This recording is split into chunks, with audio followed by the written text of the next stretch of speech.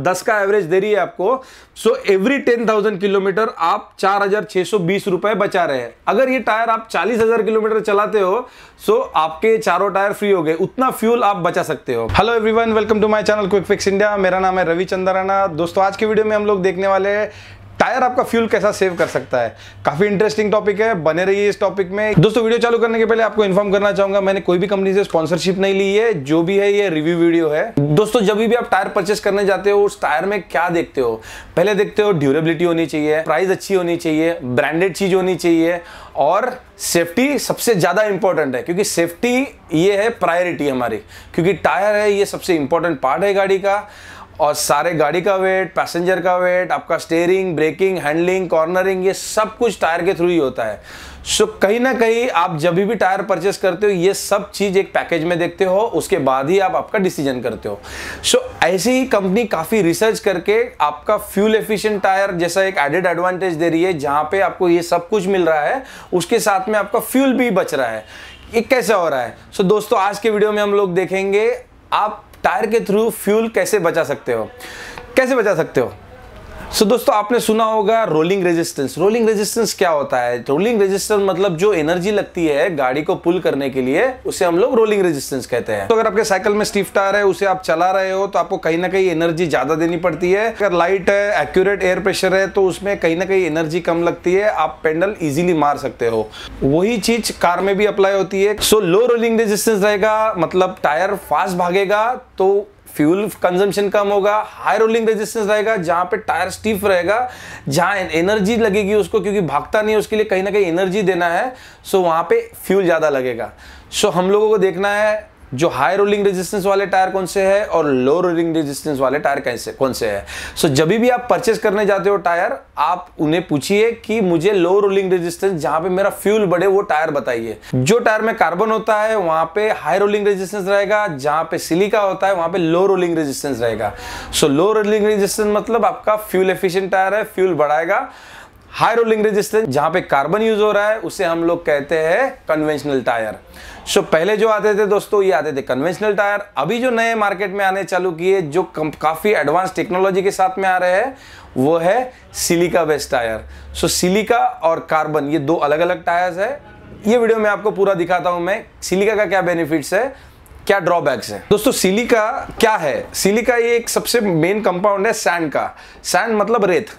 तो आप अभी सोचोगे, मेरे गाड़ी में रेत है, मेरे गाड़ी में सैंड है, वैसा नहीं है। उसका एक कंपाउंड यूज़ होता है, उसको काफ़ी अच्छे से फ़िल्टर करके टायर के साथ में अलग अलग चीज़ों के साथ में, उसको मिक्स करके टायर में यूज़ किया जाता है। दोस्तों, आपको अभी क्वेश्चन होगा कि सिलिका कैसे टायर का फ्यूल एफिशिएंसी बढ़ाएगा।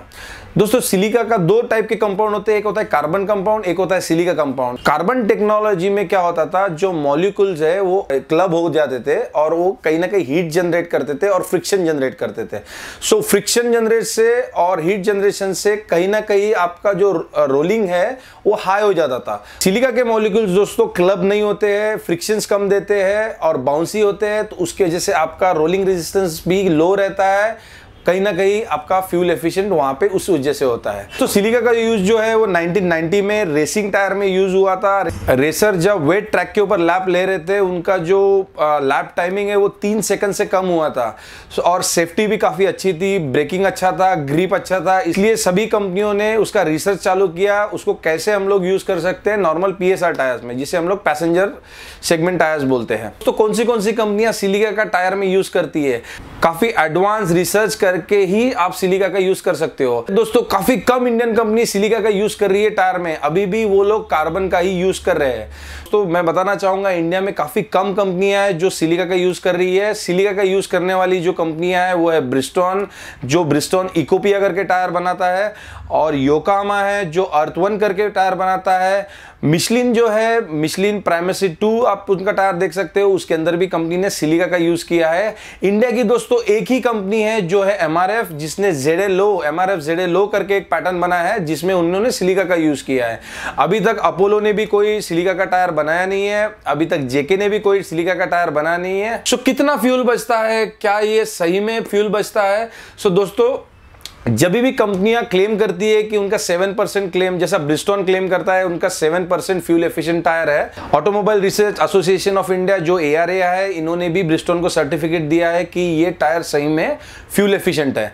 सो so, कितना पैसा उसमें बच रहा है ये मैं एक ब्रिस्टॉन के कैलकुलेटर में आपको कन्वर्ट करके दिखाता हूँ। तो दोस्तों दोस्तों ब्रिस्टोन ने एक अच्छा एक कैलकुलेटर बनाया है। ब्रिस्टॉन इकोपिया टायर के लिए ये कैलकुलेटर यहाँ पे सीधा बताता है आपका माइलेज कितना है अभी। तो यहाँ पे आपको दिखेगा कि इसका माइलेज कितना है। अभी जैसा आपका डीजल व्हीकल है तो ये डीजल है।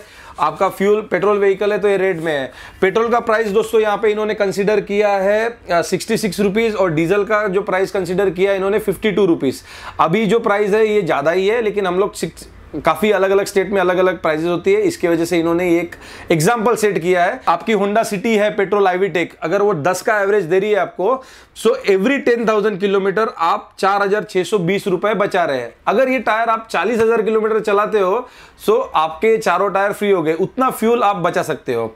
अगर आपका डीजल गाड़ी है तो कहीं ना कहीं डीजल का एवरेज ज़्यादा होगा। जैसा स्विफ्ट पेट्रोल स्विफ्ट डीजल ले लेते हैं कहीं ना कहीं पंद्रह का एवरेज देती है हम ये पकड़ते हैं। अगर पंद्रह का एवरेज दे रही है तो दो रुपए आपके डीजल में बच रहे हैं every ten thousand kilometre.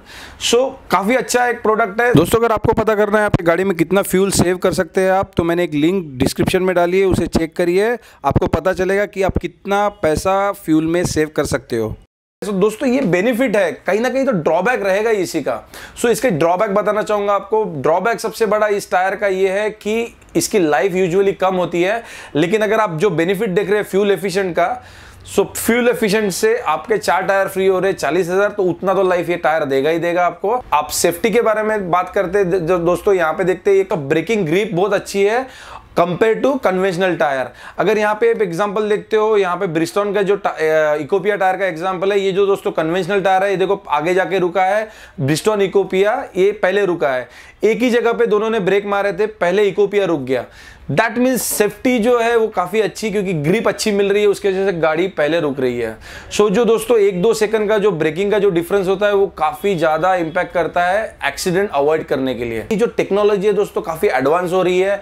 सो so, सारी टायर कंपनियाँ कहीं ना कहीं रिसर्च दे रही है, कहीं ना कहीं प्रोडक्ट डेवलप कर रही है, क्योंकि जैसा बी एस थ्री व्हीकल्स आया बी एस फोर आ रहा है, अभी बी एस सिक्स भी आने वाला है सो टायर में भी वैसा ही होने वाला है, कहीं ना कहीं हर कंपनियों को एनवायरमेंट को बचाना है। सिलिका जो है दोस्तों, ये एनवायरमेंटल फ्रेंडली टायर्स है। एनवायरमेंटल फ्रेंडली कैसे हुए? क्योंकि वो फ्यूल को बचा रहे हैं तो एनवायरमेंट को बचा रहे हैं। उनकी जो फुटप्रिंट्स है कार्बन फुटप्रिंट्स उसको कहीं ना कहीं वो रिड्यूस कर रहे हैं। क्योंकि कार्बन का ज़्यादा यूज़ होगा तो कहीं ना कहीं एनवायरमेंट भी डैमेज होगा। कहीं ना कहीं एनर्जी ज़्यादा यूज़ होगी मतलब फ्यूल ज़्यादा यूज़ होगा तो एनवायरमेंट डैमेज होगा पोल्यूशन ज़्यादा होगा। सो so, ये एक एनवायरमेंटल फ्रेंडली है। तो हमारे चैनल पे ऐसे ही अच्छे अच्छे इन्फॉर्मेटिव टॉपिक पे काम कर रहे हैं। अगर आपको ये वीडियो पसंद आता है तो प्लीज़ लाइक कीजिए। आपने हमारे चैनल को सब्सक्राइब नहीं किया है तो प्लीज़ सब्सक्राइब भी कर लीजिए। बाजू में दोस्तों एक बेल आइकन है उसे भी प्रेस कर लीजिए। जब भी हमारा वीडियो आएगा आपको पहले नोटिफिकेशन आएगा उसका। Riders please wear helmet driver please wear seat belt keep the road clean keep the road safe keep the city clean thank you